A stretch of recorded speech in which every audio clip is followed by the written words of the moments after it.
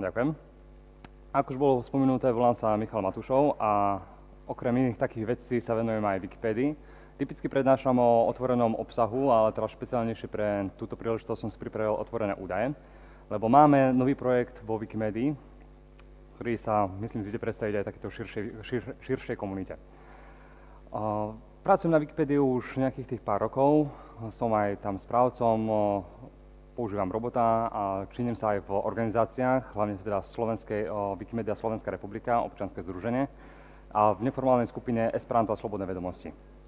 Okrem toho samozrejme občas prednášam ako teraz.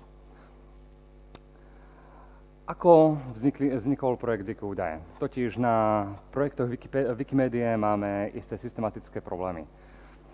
Ako ja môžem povedať, že máme problémy na Wikimedii? Ako, kto nemá rád Wikimediu? Ako podľa Wikipédie bolo pomenovaný dokonca jeden asteroid, to už o niečom svedčí. Ale tie problémy tam stále sú. Uh, informácie veľmi ľahko zastarávajú a zastarávajú, zastarávajú veľmi rýchlo. Keď si človek zoberie tlačenú knihu, tá v čase svojho vydania je už zastaraná. Ale na internete informácie môžu byť uh, aktuálne prakticky stále, s nejakým hodinovým jednodňovým rozdielom. Môžu. Môžu, ale nie vždy sú. Videl tu už niekto na internete nejakú zastaranú informáciu? Videl niekto na, na, o, zastaranú informáciu na Wikipedii? Nie som jediný. O, Wikipedia používa text a text treba, treba nejako upravovať, alebo treba ho upravovať vo viacerých jazykoch, koľko článkov, toľko jazykov, toľko úprav. Ďalším problémom našich projektov je možnosť nájsť informácie. Samozrejme, keď človek hodí do Google nejakú všeobecnú, všeobecný termín, Wikipedia je jedný z tých prvých vecí, ktoré na, na, na ktoré natrafí. Ale uh, keď, chce, keď chce človek nájsť nejakú špecifickejšiu informáciu alebo keď chce nájsť triedu nejakých informácií, už to začína byť problém. Na esperantskej Wikipedii máme, čla, uh, máme kategóriu článkov rumúnsky Maďari OK, prečo nie? A táto je na jednej Wikipédii. Nájdete takúto kategóriu v jazyku Cebuano? Alebo Azery? Tam je to už kúsok ťažšie. A dajú sa tak, takto robiť dosť podrobné kategórie, napríklad uh, spisovatelia maďarskej národnosti žijúci v Rumunsku. A keď človek začne takto viacej kúskovať, tak zistí, že ako ono to nie je, nemôže to ísť do nekonečna. Veľmi ľahko sa dostaneme na, na nejaký ten koniec, ktorý už viacej to nemá zmysel viacej členiť. A vzhľadom k tomu, že neboli poriadne nástroje, ako takéto informácie získať, tak uh, veľa otázok ani nebolo opýtaných, čo, um, čo nehovorí veľa o progrese našej misie priniesť slobodné, vzdela- slobodné vzdelanie pre celý svet. A aj preto vznikol projekt Wiki údaje.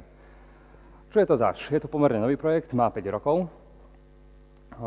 V rámci Wikimedického hnutia je to dosť nové. Je to slobodná, komunitná, mnohojazyčná, sekundárna databáza znalostí. To znie tak trocha ako otvorené údaje všakže. A poskytujú podporu tak pre Wikipédiu, ako aj ďalšie projekty a dosť dôležité mimo nej, mimo projektu Wikimedia. Keďže je to centralizovaná databáza, Veci, ktoré sa doteraz robili na viacerých Wikipédiách, sa teraz môžu robiť, stač, stačí, aby boli správne raz. Keď pri, články sú medzi sebou preodkazované uh, odkazmi na iné jazykové verzie, takže keď pribudol nový článok, vo všetkých ostatných verziách muselo byť aktualizovaná táto informácia. Teraz, keď pribude nový článok, informácia je aktualizovaná na jednom mieste a do všetkých sa to prepro, prepropaguje automaticky bez ďalších úprav. Wikiúdaje používajú datový model,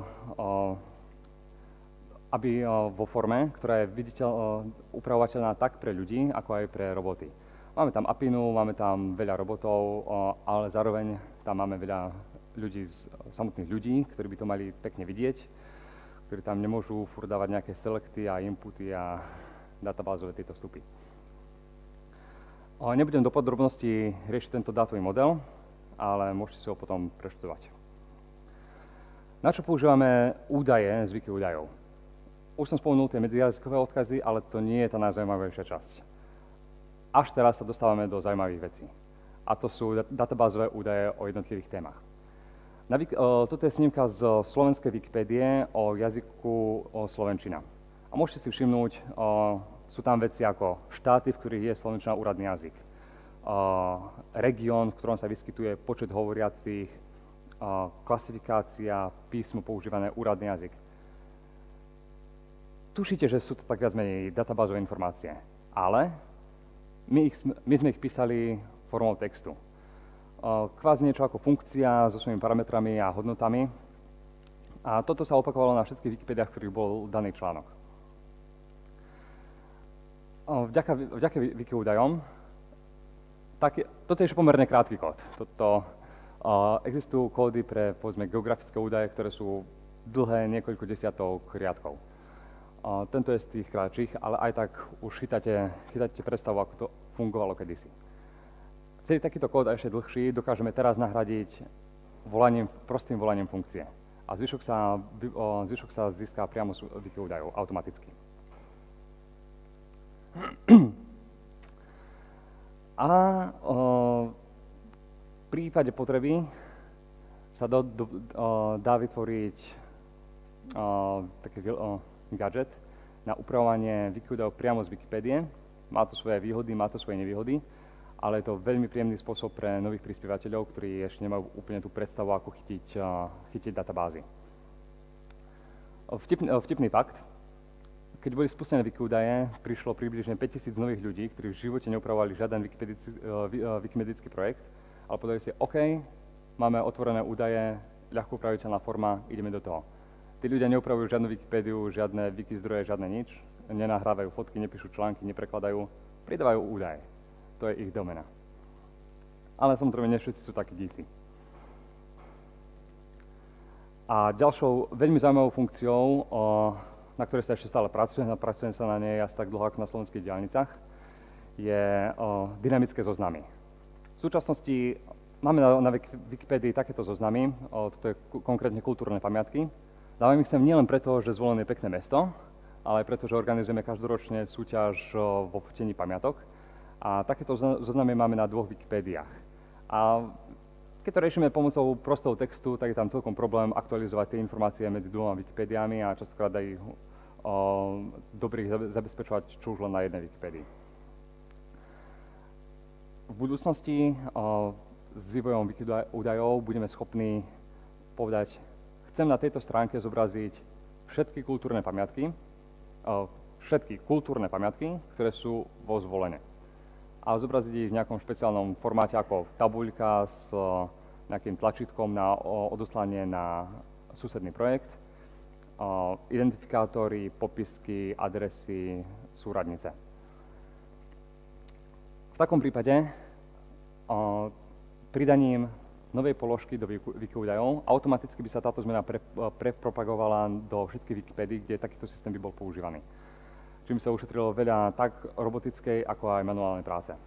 A s aktualizovaním, aktualizovaním by bolo stokrát jednoduchšie. Takou pomerne špecifickou záležitosťou, čo sa týka využívania wiki údajov, sú neexistujúce články na Wikipédiách. V súčasnosti funguje testovací nástroj na zo pár málo Wikipédiách. Toto je snímka z esperanskej Wikipédie, lebo na slovenskej zatiaľ ešte nie je spustený. V podstate funguje tak, že na Wikiúdajoch v zásade nejaké informácie sú a nejaké informácie sú stále viacej ako žiadne informácie. Takže keď človek hľadá nejakú položu, o, informáciu o Michailovi Kosterlicovi, na slovenskej Wikipédiu zatiaľ veľmi nenájde. Nie je tam článok. Na esperanskej Wikipédiu tam zatiaľ tiež veľa toho nenájde. Tiež tam nie je článok. Ale môže si kliknúť na špeciálny odkaz a vygeneruje sa mu takáto stranočka, je, trocha dlhšia, musel som ju urezať.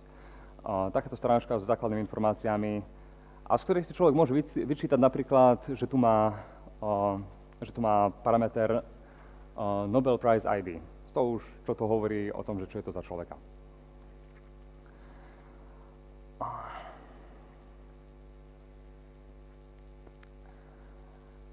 Názvom tejto prednášky bolo využitie mimo Wikimedie.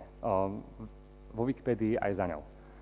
Ako by sa Wiki dali využiť pri mimo projektov Wikimedia.